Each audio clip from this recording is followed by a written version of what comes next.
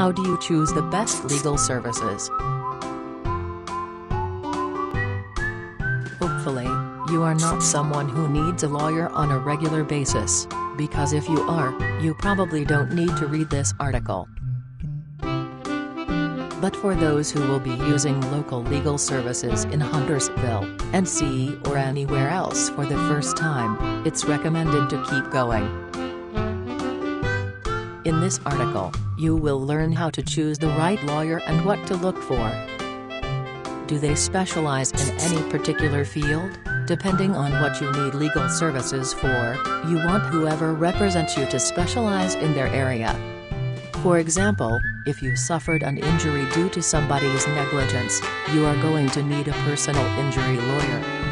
If you are getting a divorce, look for a family law services. The point is every lawyer specializes in different areas, your odds are better of winning if you choose one that specializes in your problem. Are the experience?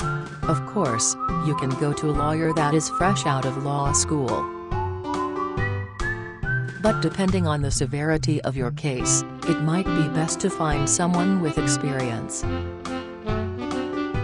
For example, with a criminal case, you don't want to take any unnecessary risk.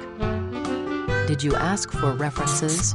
Friends, family, and co-workers who needed a lawyer at some point could point you in the right direction. However, just because they approve doesn't mean it's the right lawyer for you. Instead, use their references as a guideline. Schedule consultations. Once you find a lawyer that specializes in your specific problem, schedule a consultation. This is where you tell the lawyer your case and he or she decides if they can take it. It is recommended that you see at least three different lawyers before settling on a final decision for your legal services.